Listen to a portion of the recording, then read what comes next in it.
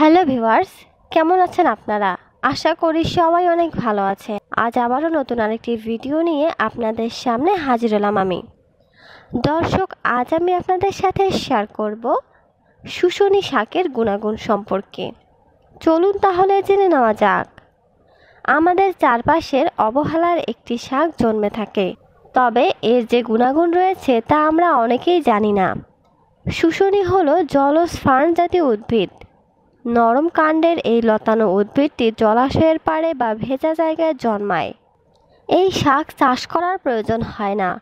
এটি মাটি ঘাটে বা যে কোনো জলাশয়ে এমনিতেই জন্মায়। এর পাতা যৌগিক প্রকৃতির। সমস্ত ফার্নের মতো এদেরও ফুল বা ফল হয় না। রেণুর মাধ্যমে এরা বংশ বিস্তার করে। এর নানা ধরনের ভেষজ উপকারিতা রয়েছে। চলুন তাহলে এর উপকারিতাগুলো জেনে নেওয়া যাক। নিদ্রাহীনতায়। শুশনি শাক খেলে ঘুম পায়, তাই নিদ্রাহীনতায় যারা ভোগেন, তাদের নিয়মিত শুশনি শাক খেলে কাজে দেয়। মাথার যন্ত্রণা হলে। মাথার যন্ত্রণা হলে শুশনি শাক নিয়মিত খেলে মাথার যন্ত্রণা আস্তে আস্তে সেরে যাবে। স্মৃতিশক্তি বাড়ায়। স্মৃতিশক্তি যদি কমে যায়, তাহলে শুশনি শাকের রস গাওয়া ঘিয়ের সাথে রান্না করে নিয়ে বোতলে রেখে দিতে হবে।